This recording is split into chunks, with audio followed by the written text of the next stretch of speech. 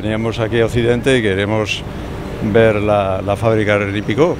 Es una actividad industrial básica, una actividad además de las que, de las que hacen, fijan población, de las que debemos de proteger, de las que debemos ayudar.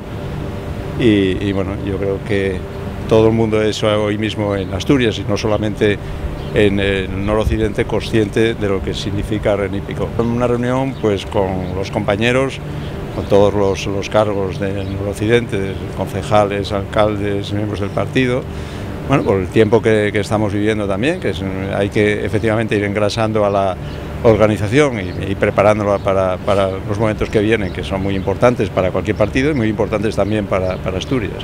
Sobre Chávez y Griñán lo que tengo que decir es que los dos pidieron voluntariamente comparecer. Y claro, eh, cuando se quiere comparecer no hay otra manera de hacerlo más que como imputado.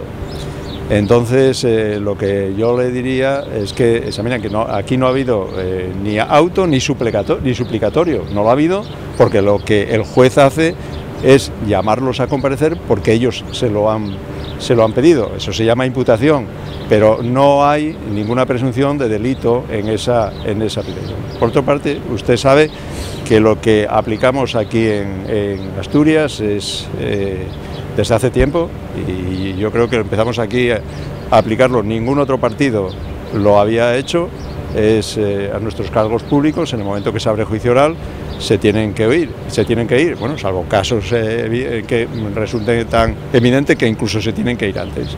Pero en el caso concreto de Chávez y Griñán, déjeme eh, reiterarle lo que le, lo que le he comentado. ¿no? Ellos pidieron voluntariamente eh, declarar y el juez entonces lo que le remite es una providencia para que lo haga.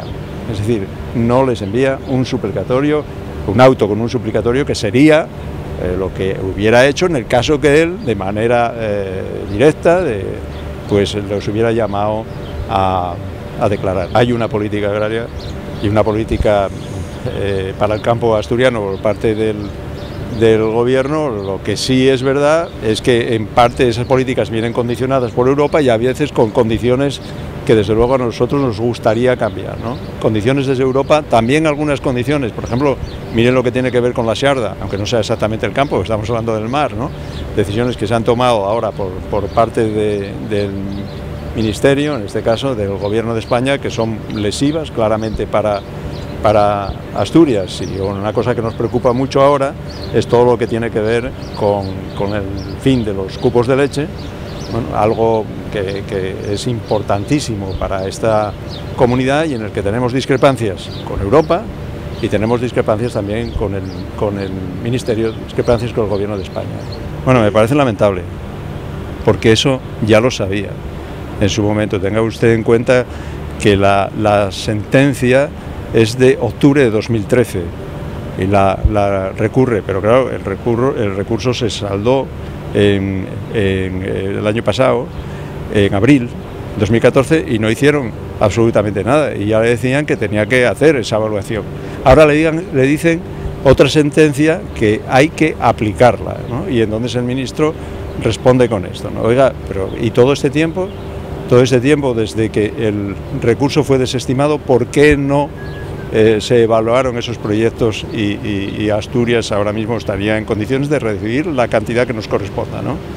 Por tanto, a mí me parece, desde luego, eh, insólito que el ministro haya reaccionado de esta manera. Espero que reflexione y que Asturias tenga lo que le corresponde y lo que en este caso la, sentencia establece. Verá, yo es que nunca comento asuntos de de otras eh, organizaciones. ¿no? Se ha decidido irse, pues, eh, en fin, eh, le corresponde eh, a él explicar por qué. ¿no? sé si se va o se queda como, como antes era de timonel, ahora parece ser que va a ser de vigía. Bueno, en todo caso, el adversario para nosotros, el adversario político, era el líder de la oposición, quiere decir, este era el primer partido de la, de la oposición. Eh, nosotros eh, tenemos como eh, digamos, referencia política adversario a la, a la, derecha. Ahora mismo hay dos partidos, veremos cómo se configuran a partir de este, de este momento, pero sobre la decisión de esta persona yo no tengo que hacer ningún tipo de valoración.